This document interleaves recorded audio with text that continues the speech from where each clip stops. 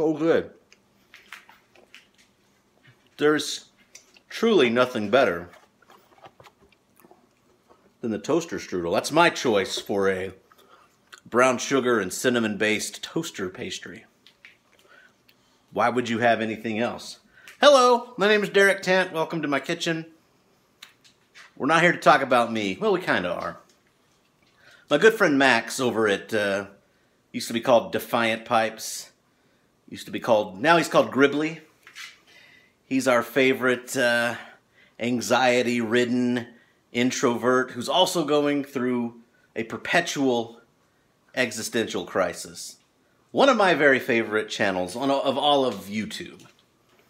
He does have a, a series called the Sunday Antisocial, where he answers your questions. He takes questions throughout the week and he will answer them. So I decided I'd get in on this racket.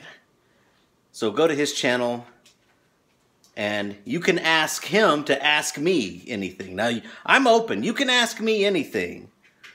But it, but what fun would that be? You can ask Gribs to ask Derek Tant. So don't forget the hashtag. Go over to Gribbly's channel. Uh, go to Sunday Antisocial. We're going to try to do it weekly.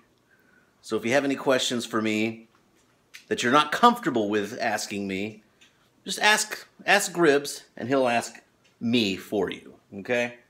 So um, we're gonna go.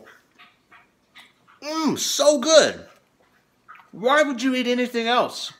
That is the perfect brown sugar based toaster pastry. Smell my beard.